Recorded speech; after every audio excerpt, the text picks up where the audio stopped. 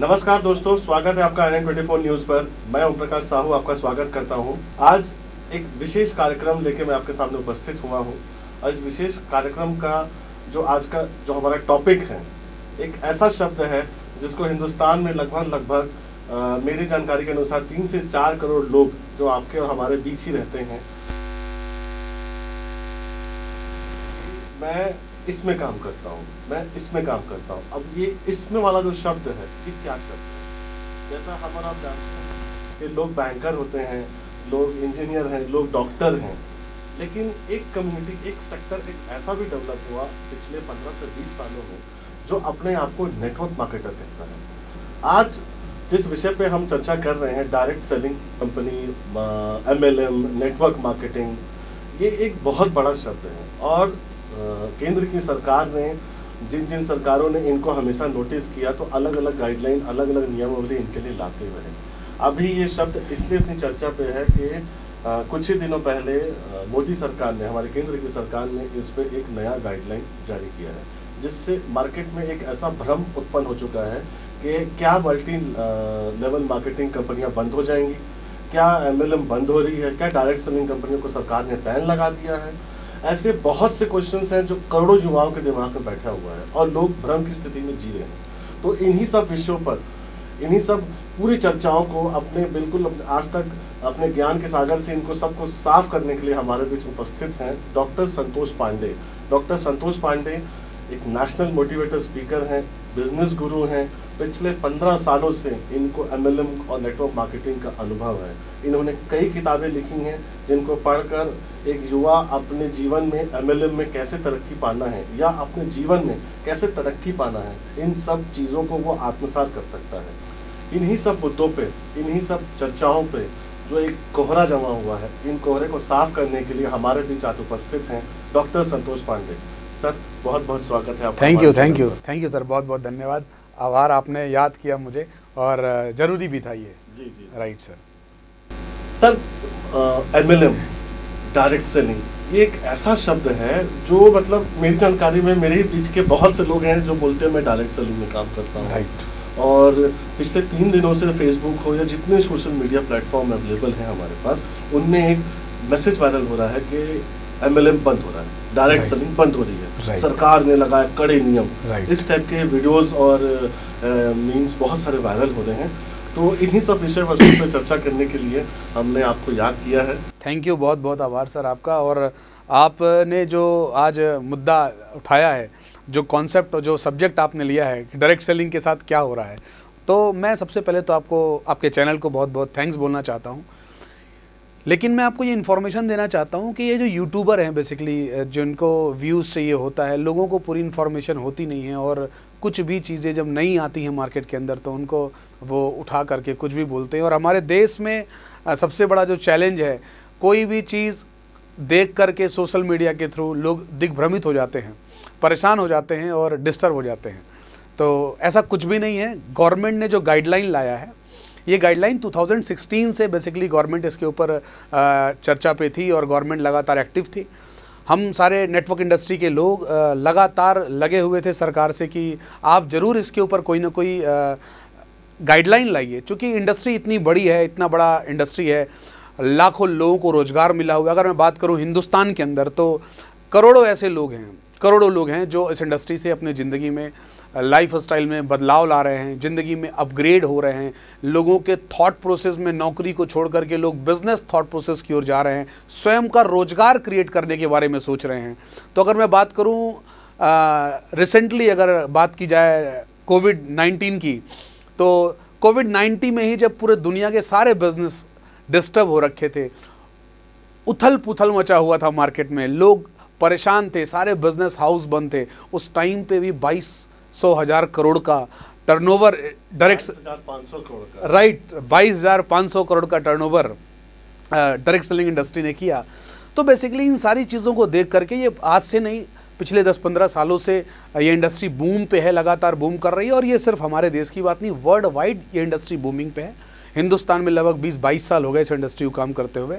लेकिन आपको पता है मैं आपके सारे व्यूवर्स को ही बताना चाहता हूँ जब हिंदुस्तान के अंदर कोई भी नई चीज़ आती है या वर्ल्ड वाइड कोई भी नई चीज़ आती है तो उसके कई स्टेप होते हैं। पहले स्टेप में स्ट्रगल करना पड़ता है उसको, फिर थोड़ा सा कुछ अच्छे लोग आते हैं। थर्ड स्टेप में बहुत सारी उथल पुथल होती है, लोग परेशान होते हैं, लोग डिस्टर्बेंस होते हैं, बहुत सारी निगेटिव एंड पॉजिटिव चीज़ें आती हैं। आपको पता ही है जब कंप्यूटर को इंडिया में लॉन्च करने की बारी की गई थी तो लोगों ने कहा कि कंप्यूटर के आ जाने से बेरोजगारी बढ़ जाएगी लोगों का रोज़गार खत्म हो जाएगा एक कंप्यूटर जो है वो सैकड़ों लोगों की नौकरी खा जाएगा। लेकिन आज मैं आपको बताना चाहता हूँ सारे व्यूवर्स को बताना चाहता हूँ अगर आज हिंदुस्तान से कंप्यूटर खत्म कर दिया जाए तो सारी नौकरियाँ खत्म हो जाएँगी। राइट तो एज इट इज़ है डायरेक्ट सेलिंग बहुत बड़ी एंटिटी है बहुत बड़ी इंडस्ट्री है।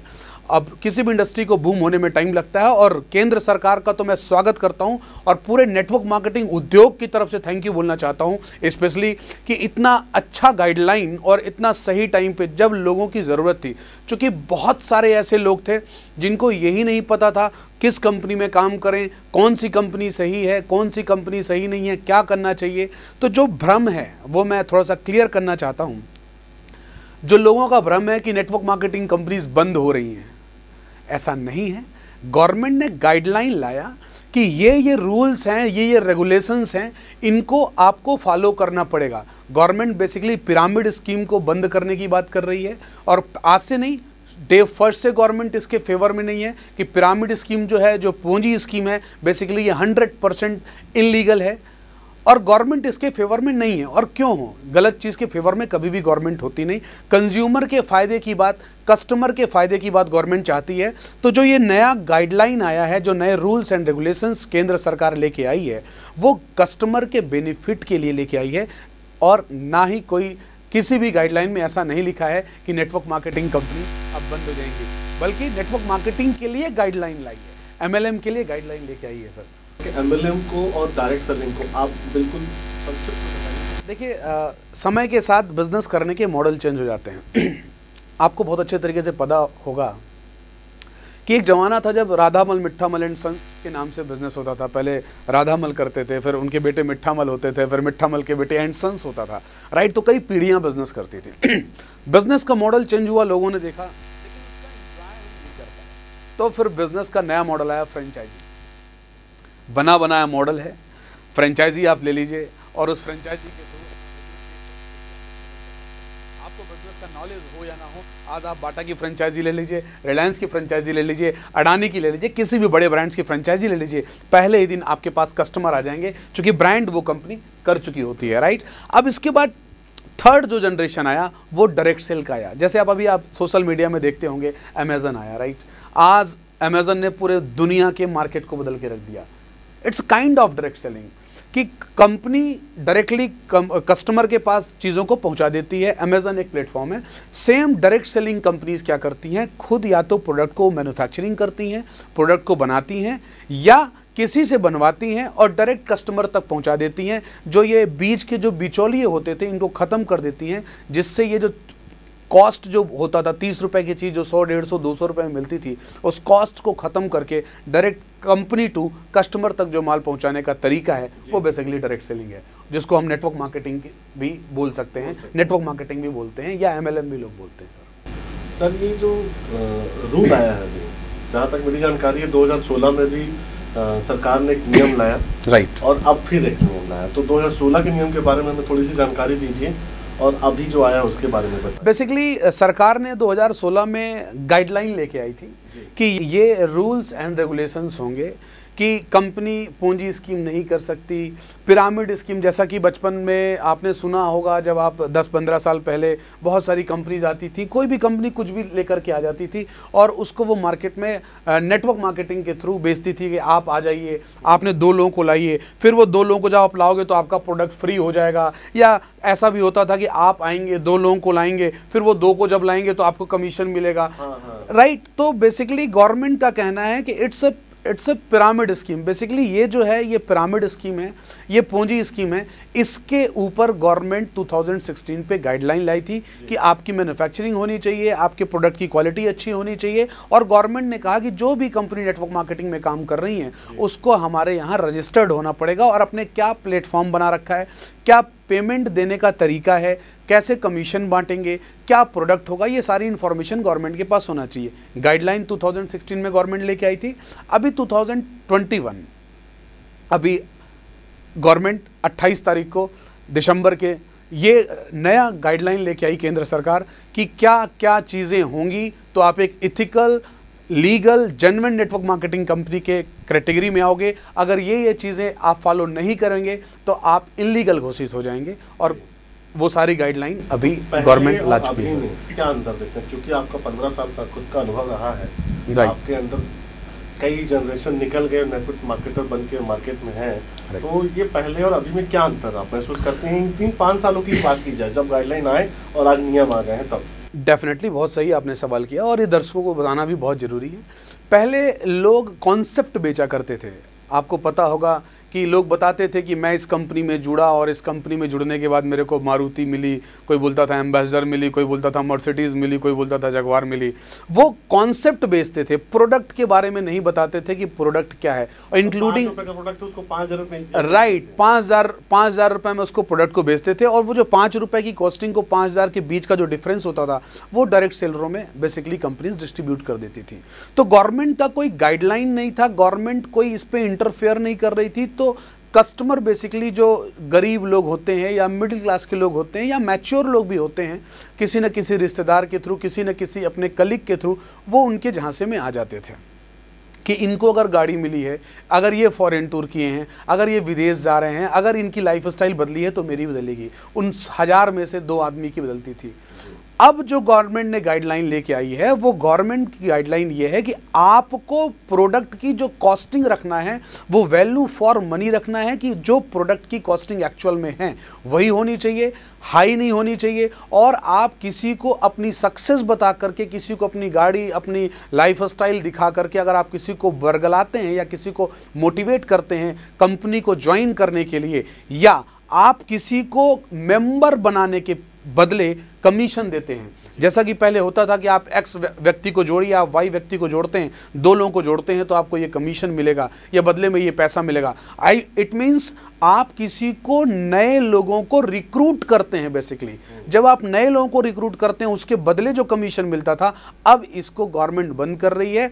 गवर्नमेंट इसके फेवर में नहीं थी। गवर्नमेंट का कहना है कि जो आप कस्टमर को प्रोडक्ट दे रहे हैं, उसका आप पैसा लीजिए, और अगर वो प्रोडक्ट उसको संतुष्ट नहीं है उस प्रोडक्ट से अगर वो सेटिस्फाइड नहीं है उस प्रोडक्ट से तो उस प्रोडक्ट को उसके पास रिटर्न करने की भी पॉलिसी होनी चाहिए। ये कंपनी के अंदर ये गाइडलाइन होने चाहिए क्योंकि थ्रू डिजिटल आप कर रहे हो थ्रू ऑनलाइन आप कर रहे हो तो कस्टमर के फेवर के लिए कस्टमर की सिक्योरिटी के लिए और कस्टमर के हित के लिए बेसिकली ये टू का जो गाइडलाइन आया है नेटवर्क मार्केटिंग का वो कस्टमर के हित के लिए है। बिल्कुल बिल्कुल। आप बीच में पॉन्जी और पिरामिड की बात कर रहे थे तो ये स्कीम तो बहुत साल से चल रहा था। क्या अभी भी ये सिस्टम लागू है कि इस नियम में ये स्कीम बिल्कुल खत्म एबॉलिश कर दी जाएगी? ये 100 परसेंट पूंजी स्कीम को गवर्नमेंट 100 परसेंट इलीगल मानती है पिरामिड स्कीम को 100 परसेंट इलीगल मानती है और कोई भी व्यक्ति या कोई भी डायरेक्ट सेलिंग कंपनी अगर ऐसा करते पाया गया तो उसके खिलाफ गवर्नमेंट एक्शन लेगी। डॉक्टर साहब, मेरे को एक बात की जानकारी दीजिए आप कि समाज में या युवाओं के बीच एक भ्रम की स्थिति उत्पन्न रहती है हमेशा क्योंकि किसको ज्वाइन करें, किसको नहीं करें? कोई चाचा, कोई मामा, कोई भैया आता है, बोलता है, ये कंपनी अच्छी है, वो कंपनी अच्छी है। कोई दोस्त आके बोलता है, मैं कर रहा हूँ यार, देख मैं कितना पैसा कमा लिया। मतलब एक मेंटालिटी डेवलप करते हैं, एक साइकोलॉजी डेवलप करके उनको ज्वाइन करा दिया जाता है है ना? तो आप एक चैनल के माध्यम से आप जानकारी हमको दीजिए हमारे दर्शकों को कि कौन सी कंपनी ज्वाइन करें कि कौन सी कंपनी ज्वाइन ना करें इसको कैसे डिसाइड करें? Okay okay. बहुत अच्छा क्वेश्चन आपने किया सर बेसिकली uh, कौन सी कंपनी करें कौन सी कंपनी ना करें ये तो देखिए आपके ऊपर है आपको चूज़ करना है। ये आपका डिसीज़न है कौन सा प्रोडक्ट आपके काम का है। चूँकि हंड्रेड परसेंट जितनी भी डायरेक्ट सेलिंग कंपनी है या तो वो प्रोडक्ट बेच रही हैं या तो वो uh, कोई ऐसा सब्जेक्ट है कॉन्सेप्ट है जिसमें पैकेज है या एजुकेशन है कुछ तो ऐसी चीज़ें बेच रही हैं। अब गवर्नमेंट कह रही है जो प्रोडक्ट बेच रही हैं कंपनी राइट उन कंपनियों को हमारे अंदर रजिस्टर्ड होना होगा। अपना नंबर लेना होगा अपनी इन्फॉर्मेशन अपने प्रोडक्ट अपने बिज़नेस प्लान अपने कमीशन डिस्ट्रीब्यूशन का सिस्टम सब कुछ हमें सबमिट करना होगा। तो जैसे हम कोई भी चीज़ मार्केट से ख़रीदते हैं गूगल से ख़रीदते हैं अमेजन से ख़रीदते हैं कहीं से भी ख़रीदते हैं सबसे पहले आप क्या चेक करते हैं? कोई इंडोर्समेंट कर रहा है तो आप ले लेते हैं या उसकी रेटिंग चेक करते हैं? उसके बारे में देखते हैं लोगों के रिव्यूज़ देखते हैं एज इट इज़ हैं। रिसर्च करते हैं राइट तो एज इट इज़ आपको फर्स्टली आपको उस कंपनी के बारे में चेक करना है, उसकी वेबसाइट में चेक करिए। हर स्टेट गवर्नमेंट के पास अभी सबमिट करने का सिस्टम आ चुका है। उस कंपनी की इन्फॉर्मेशन लीजिए, यूट्यूब से सर्च करिए, गूगल से सर्च करिए और आपका दिमाग जो कहता है कि यस, जो मैंने पैसा दिया, उसके बदले ये प्रोडक्ट मुझे मिल रहा है वैल्यू फॉर मनी प्रोडक्ट है तो आप बिल्कुल उस कंपनी को ज्वाइन कर सकते हैं। कोई भी कंपनी सही या गलत नहीं होती। कई बार क्या होता है कि कंपनी सही होती है लेकिन आपका जो लीडर होता है जो आपका सीनियर होता है जो आपका अपलाइन होता है बिज़नेस लैंग्वेज में अगर बात की जाए वो कई बार गलत कर देता है जिसके कारण लोग डायरेक्ट सेलिंग कंपनियों को गलत बोलने लगते हैं। वैसा हर डायरेक्ट सेलिंग कंपनी जो है वो एक इथिकल तरीके से काम करना चाहती है लेकिन जो उसका लीडर होता है वो जब गलत कर देता है तो लोग पूरा का पूरा श्रेय जो है उस कंपनी को दे देते हैं जबकि बात कंपनी की नहीं होती बात लीडर की होती है। तो ये आपको चूज़ करना है कि जिस कंपनी को मैं पैसा दे रहा हूँ वो जो मुझे प्रोडक्ट दे रही है अगर वो वैल्यू फॉर मनी है तो इट्स गुड अगर आपको संतुष्टि नहीं लगती कि मैं जो पैसा दे रहा हूँ उसके बदले मुझे प्रोडक्ट नहीं मिल रहा तो बट नेचुरल सी बात है आपको उसको ज्वाइन ही नहीं करना चाहिए। क्योंकि जिसमें आप खुद ही संतुष्ट नहीं है तो आप आगे लोगों को कैसे प्रमोट कर पाएँगे? कैसे आप लोगों से शेयर कर पाएँगे? तो ये आपको समझना है कि ये मेरे लिए अच्छा है या मेरे लिए सही है या नहीं है। जुमला मेरे को याद आ रहा है कि हवाई चप्पल पहना हुआ एक बंदा आया बोला मैं एमएलएम करता हूँ। और दो साल बाद मर्सिडीज में चढ़ूँगा तेरे को भी चढ़ाऊँगा अच्छा, ऐसा। बोलता है। ठीक है? तो एमएलएम क्या वाकई इतना बड़ा स्कोप है? क्या एमएलएम हर आदमी को सक्सेस दे सकता है? बिल्कुल सही बात आपने कही कि आ, हवाई चप्पल पहन कर क्या तो ये बिल्कुल सच है। मैं अगर अपनी खुद की बात करूँ तो जब मैंने स्टार्ट किया था टू थाउज़ेंड में इस इंडस्ट्री में तो मैं खुद भी लखानी का चप्पल आता था। लखानी और रूपानी दो चप्पल हुआ करते थे। तो मैं लखानी के चप्पल को पहन करके पैदल साइकिल में घूम करके और network marketing direct selling industry को स्टार्ट किया। थॉट प्रोसेस डेवलप हुआ। मैं अ, बोलता हूँ देखिए जुमला बनाने वाले हवा में बातों उड़ाने वाले बहुत मिलेंगे लेकिन सबसे बड़ी चीज़ जो डायरेक्ट सेलिंग इंडस्ट्री का जो मुझे अच्छा लगता है वो ये है कि इस इंडस्ट्री में आने के बाद बंदा बी एमडब्ल्यू मर्सिडीज जगवार के बारे में सोच तो पाता है। बोल तो पाता है अगर एक लड़का शिक्षा कर्मी में नौकरी करता है या कहीं पे डॉक्टर की पेशा में जाता है या दुनिया किसी भी पेशा में जाता है तो पहले दिन वो Mercedes B M W Audi Jaguar के बारे में बोलने की बात तो बहुत दूर सोच भी नहीं पाता। वहीं पे जब बंदा डायरेक्ट सेलिंग इंडस्ट्री में आता है तो वो आते साथ ही दो साल तीन साल चार साल के बाद ये सपना देखना शुरू कर देता है कि यस मैं भी एक दिन मर्सिडीज बी एमडब्ल्यू ऑडी तक पहुंचूँगा। और 2009 में मैंने भी ऐसे ही सपना देखना शुरू किया था। और साइकिल से स्टार्ट करके आज यहाँ तक का सफ़र तय किया। तो यस बिल्कुल सच है। इस सफ़र में बहुत सारे लोग कामयाब होते हैं बहुत सारे लोग कामयाब नहीं होते। तो ये सिर्फ़ डायरेक्ट सेलिंग इंडस्ट्री की नहीं है दुनिया की कोई भी बिज़नेस है वहाँ पे डेफिनेटली हर आदमी कामयाब नहीं होता, चाहे वो मेडिकल का प्रोफेशन हो इंजीनियरिंग का प्रोफेशन हो या बिज़नेस हो, हर व्यक्ति तो कामयाब नहीं होता। जो सिस्टम को फॉलो करता है, जो रूल्स को फॉलो करता है, जो रेगुलेशंस को फॉलो करता है, जो अपने सीनियर के द्वारा बताई गई बातों को फॉलो करता है, और proper frankly I am saying to all of you आपके सारे दर्शकों से अगर मैं खुल के बोलना चाहूँ तो जो प्रॉपर लर्निंग करता है बेसिकली जो लर्न करेगा, वही इस इंडस्ट्री में अर्न करता है। जो लर्न नहीं करता, वो इस इंडस्ट्री में अर्न नहीं करता। ये बात इस इंडस्ट्री की नहीं है, ये दुनिया की सारी इंडस्ट्री में आपने बहुत सारे लोगों को देखा होगा कि डॉक्टर है। मेडिसिन का उसके ऊपर एक लगा हुआ है, थप्पा है कि ये डॉक्टर है, लेकिन उसके क्लिनिक पे कोई भी मरीज़ नहीं है। वहीं पे दूसरा एक डॉक्टर है, जिसकी क्लिनिक में तीन दिन, चार दिन, पाँच दिन, एक एक, दो दो हफ़्ते पहले आपको अपॉइंटमेंट लेना पड़ता है। ऐसा क्यों है? क्योंकि उसकी लर्निंग स्ट्रांग है। उसकी लर्निंग स्ट्रांग है तो उसकी अर्निंग ऑटोमेटिक स्ट्रांग हो रही है। वहीं पे आप किसी वकालत प्रोफेशन में जाएँगे तो एक वकील ऐसा है जो दो टाइम की शायद उसको अर्निंग करने में, खाने के लिए उसको दिक्कत होती है, और वहीं पे एक वकील ऐसा भी है जो लाखों और करोड़ों रुपए कमा रहा होता है। तो इट्स ऑल अबाउट लर्निंग जो लीडर या जो व्यक्ति, जो ड्रग सेलर लर्निंग करता है इंडस्ट्री के बारे में जानता है, इंडस्ट्री के बारे में समझता है, वो आगे बढ़ता जाता है। जो लर्न नहीं करता, वो इस इंडस्ट्री से बाहर हो जाता है और ऐसे ही लोग फिर डायरेक्ट सेलिंग इंडस्ट्री को बदनाम करते हैं। डायरेक्ट सेलिंग की बातें हो रही हैं तो अब आपके हिसाब से अगर ये माना जाए तो नया गाइडलाइन जो आया है, जो नया रूल आया है, वो इंडस्ट्री को अब बूम देगा कि कहीं ना कहीं जो मार्केट में रूमर फैल रहा है कि बंद हो गई बंद हो गई। तो इसको आप कैसे साफ़ करना चाहेंगे? क्या आप बोलना चाहेंगे हमारे दर्शकों से और नेटवर्क मार्केटर से? डायरेक्टली सर जैसे मैं बात करूँ जैसा कि आपने सवाल किया कि क्या ये इंडस्ट्री मार्केट को बूम पे लेके जाएगी डायरेक्ट सेलिंग इंडस्ट्री. गाइडलाइन या कंपनीज़ बंद हो जाएँगी। देखिए जब कोई भी नए रूल्स एंड रेगुलेशंस आते हैं तो लोगों में थोड़ा सा हड़कंप होना जायज़ है। क्योंकि पिछले 22 से 23 साल से इंडस्ट्री बिना रूल, बिना रेगुलेशंस के चल रही थी। कोई गवर्नमेंट का इंटरफेयर नहीं था। लेकिन मैं आपको बता दूँ, ये हिंदुस्तान की या वर्ल्ड की पहली एक ऐसी इंडस्ट्री है, जो 100 परसेंट, हंड्रेड परसेंट इथिकल और लीगल काम करती है। जैसे एक भी रुपए का बिल अगर कोई प्रोडक्ट खरीदता है तो कोई भी कच्चे का काम नहीं है, उसका बकायदा बिल कटता है। जीएसटी कटती है जीएसटी गवर्नमेंट को हर महीने जमा होती है और ये सिर्फ़ मैं किसी पर्टिकुलर एक कंपनी की बात नहीं कर रहा हूँ, हिंदुस्तान में जितनी भी डायरेक्ट सेलिंग कंपनीज़ हैं, हर डायरेक्ट सेलिंग कंपनी के साथ सबसे बड़ा प्लस पॉइंट ये है कि जो भी वो कमीशन देती है, वो कमीशन सौ रुपए देती हो या पाँच सौ रुपए देती हो या पाँच लाख रुपए देती हो या पाँच करोड़ रुपए कमीशन देती हो, उस पर टीडीएस कट के उसको कमीशन मिलता है जो बिल कटता है उस पर जीएसटी कटती है और 100 परसेंट एक भी कच्चे का काम नहीं है एक भी कैश का काम नहीं है 100 परसेंट इथिकल 100 परसेंट जेनविन काम है। अब सवाल ये आता है कि इंडस्ट्री गाइडलाइन के बाद बूम करेगी कि नहीं करेगी? 100 परसेंट सर कोई भी इंडस्ट्री जब गवर्नमेंट के अंडर टेकन आ जाती है गवर्नमेंट उसको अपना लेती है। जैसे LIC में जब तक IRDA का इन्वॉल्वेशन नहीं था तो इंश्योरेंस इंडस्ट्री की अगर बात की जाए तो मार्केट बहुत छोटा सा था। जब आई आया तो इंश्योरेंस इंडस्ट्री बूम हो गई। आज बहुत सारे यूथ जो है बहुत सारे यंगस्टर्स जो हैं बहुत सारे लोग पढ़े लिखे मैच्योर लोग आज इंश्योरेंस सेक्टर में अपना करियर बना रहे हैं। करते थे। को लोग जानते थे। एल ऑफ़ इंडिया था तो। राइट आई आया तो मतलब प्राइवेट सेक्टर के जो लोग इंश्योरेंस वाले आए उनको भी रिस्पॉन्स लोग करना चालू किए। नहीं नहीं बात सिर्फ़ एलआईसी या प्राइवेट सेक्टर की नहीं है। मैं थोड़ा सा रेक्टिफाई करना चाहूँगा आपको। बेसिकली बात पूरे इंटायर इंश्योरेंस इंडस्ट्री की है। राइट तो एलआईसी भी थी तो आई नहीं था फिर भी एलआईसी थी। राइट अब जब आईआरडीए आ गया उसके रूल्स एंड रेगुलेशंस आ गए तो आज इंटायर इंडस्ट्री को लोगों ने इज़्ज़त से देखना शुरू किया और विदेशों की बड़ी बड़ी कंपनीज़ जो है इंडिया में आकर के अपने आप को इंश्योरेंस सेक्टर में इन्वॉल्व करके काम कर रही हैं और बहुत सारे यूथ बहुत सारे यंगस्टर्स बहुत सारे मैच्योर पढ़े लिखे एजुकेटेड लोग आज इस इंडस्ट्री में करियर बना रहे हैं।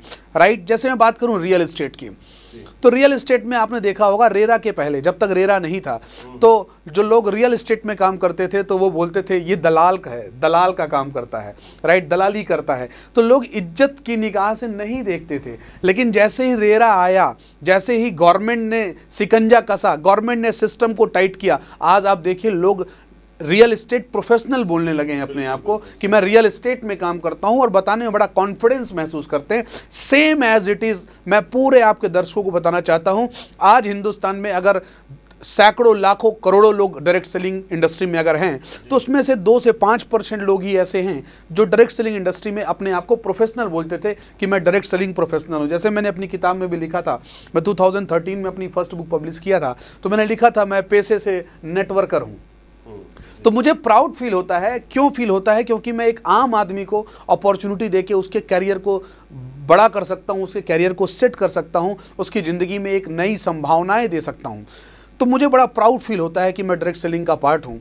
सेम जैसे ही ये गाइडलाइन अब आया तो गाइडलाइन आने के बाद हर नेटवर्क मार्केटिंग करने वाले व्यक्ति को कॉन्फिडेंस आ जाएगा और वो अपने आप को कॉन्फिडेंट से बोल सकता है कि मैं हाँ जी मैं डायरेक्ट सेलिंग का काम करता हूँ नेटवर्क मार्केटिंग का काम करता हूँ और अब गवर्नमेंट इसके फेवर पे आ चुके हैं। आपका कहना है कि डायरेक्ट मार्केटर जो था आप उसको एक अस्तित्व मिलेगा। डेफिनेटली उसको एक अस्तित्व मिलेगा उसको एक जगह मिलेगी और उसको एक पहचान मिलेगी। क्योंकि अभी तक अभी तक क्या था? राइट अभी तक क्या था कि कोई गाइडलाइन नहीं थी तो कहीं ना कहीं हर नेटवर्क मार्केटिंग कंपनी या हर नेटवर्क मार्केटिंग का लीडर कहीं ना कहीं डरा हुआ था कि कब क्या हो जाएगा।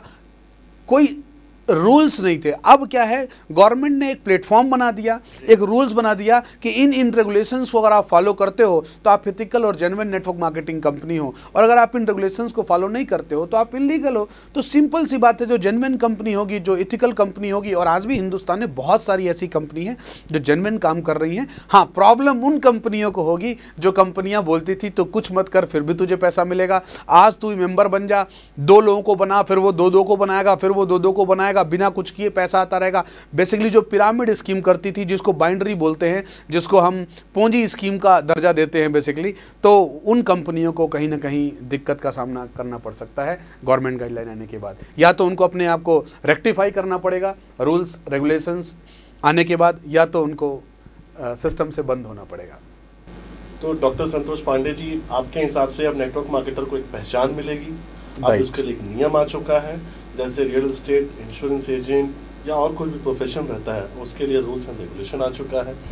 तो इनके लिए नेटवर्क मार्केटिंग के लिए भी अब एक नियम आ गया है। डेफिनेटली सर और जहाँ तक आपका कहना है और और भी बड़े बड़े जो लीडर्स हैं ठीक है उनका भी यही कहना था कि अब इस इंडस्ट्री में बूम आएगी अब। डेफिनेटली सर तो आपकी इन तमाम जानकारियों को हम अपने दर्शकों तक पहुँचा रहे हैं। बहुत बहुत धन्यवाद आपका आपने अपना कीमती समय दिया। Thank यू सर इस ज्वलंत मुद्दा ज्वलंत मुद्दा कहा जाए क्योंकि करोड़ों लोग इससे इन्वॉल्व हैं और इससे अपनी जीविका जी रहे हैं तो इन सब जानकारियों को आपने क्लियर किया और उनके लिए बहुत ही महत्वपूर्ण रहेगा इस ये जानकारी। बहुत बहुत धन्यवाद आपका। थैंक यू सर आपके भी चैनल को बहुत कॉन्ग्रेचुलेशंस और आप ऐसे ही लोगों को अपने दर्शकों को सही इन्फॉर्मेशन देते रहे चूँकि न्यूज़ का काम ही है सही चीज़ों को सही लोगों तक पहुंचाना तो बहुत बहुत धन्यवाद आपका और आपके चैनल का। थैंक यू सर बहुत बहुत धन्यवाद। तो ये थे डॉक्टर संतोष पांडे हमारे बीच, जिन्होंने डायरेक्ट सेलिंग एमएलएम और इस पूरे उद्योग के बारे में हमारे बहुत, हमको बहुत बारीकी से हमको जानकारी दी। और मार्केट में जो भ्रम, जो एक रोमर उत्पन्न हो रहा है कि एमएलएम बंद हो रहा है डायरेक्ट सेलिंग बंद हो रही है, इन सब का खंडन करते हुए सरकार का केंद्र सरकार का स्वागत किया उन्होंने और अपने करोड़ों दर्शकों तक, और वो उनका खुद का इतना बड़ा फ़ैन फॉलोइंग है। डॉक्टर संतेश पांडे पिछले पंद्रह साल से इस इंडस्ट्री में काम कर रहे हैं। उन्होंने कई किताबें लिखी हैं, जहाँ, जिसको मैंने आपको पहले ही बताया था। तो इस शो को और इस एपिसोड को ऑर्गेनाइज करने का विशेष तौर पे यही मकसद था, क्योंकि छत्तीसगढ़ एक बहुत छोटा राज्य है। चिटफंड जैसे बड़े धोखे, बड़े फ्रॉड का शिकार हो चुका है, जिसको भूपेश सरकार आज कैसे भी लोगों का हक उनको वापस कर रही है। इसी बीच में अगर इस प्रकार का भ्रम कहीं पैदा हो जाता है मार्केट में कि एमएलएम या डायरेक्ट सेलिंग कंपनी भी बंद हो रही है तो इससे भी एक भ्रम और एक पैनिक सिचुएशन पैदा हो सकती है। इन्हीं सब चीज़ों को क्लैरिफाई करने के लिए, इन सब चीज़ों का खंडन करने के लिए हमने डॉक्टर संतोष पांडे को यहाँ बुलाया था, जिन्होंने बहुत बारीकी से हमें इन सब के बारे में जानकारी दी। बहुत बहुत धन्यवाद। मैं देना चाहूँगा उनको, जो उन्होंने अपना कीमती समय दिया। और आई ट्वेंटी के दर्शकों को भी मैं बताना चाहूँगा कि direct selling MLM network marketing एक अब एक प्रोफेशन की तरह है, लोग इसमें इन्वॉल्व हो रहे हैं। नीति आयोग का भी रिपोर्ट है कि आने वाले चार से पाँच सालों बाद ये पचास से साठ हज़ार करोड़ तक का व्यवसाय करेगा। सरकार एक एक आदमी को रोज़गार नहीं दे सकती, लेकिन जो मार्केट में रोज़गार के अवसर हैं, हमें उन्हें अपनाना चाहिए। रोज़गार सिर्फ़ गवर्नमेंट की ज़िम्मेदारी नहीं है, जहाँ तक मेरा पर्सनली मानना है। हो सकता है कई लोग मेरे से डिफर करें, कई लोगों को मेरी बातें बुरी लगे, लेकिन रोज़गार अगर मार्केट में अवेलेबल है और थोड़े से परिश्रम से, थोड़े से मेहनत से अगर हम वहाँ तक पहुँच सकते हैं, अपने बुद्धि, अपने विवेक और अपने धैर्य का इस्तेमाल करते हुए एक सक्सेसफुल आदमी बन सकते हैं तो हमें उस अपॉर्चुनिटी को ग्रैप करना चाहिए। इन्हीं सब शब्दों के साथ धन्यवाद आपका। आप प्लीज़ आगे खबरों के लिए जुड़े रहिए I N twenty four news के साथ। हमारे फेसबुक यूट्यूब ट्विटर इंस्टा सभी के लिंक्स आपको नीचे दिख जाएँगे। प्लीज़ इसको फॉलो कीजिए लाइक कीजिए शेयर कीजिए और कमेंट कीजिएगा। किसी भी प्रकार के सुधार के लिए आप मुझे पर्सनली टैग कर सकते हैं, आप मुझे पर्सनली ट्वीट कर सकते हैं। बहुत बहुत धन्यवाद आपका।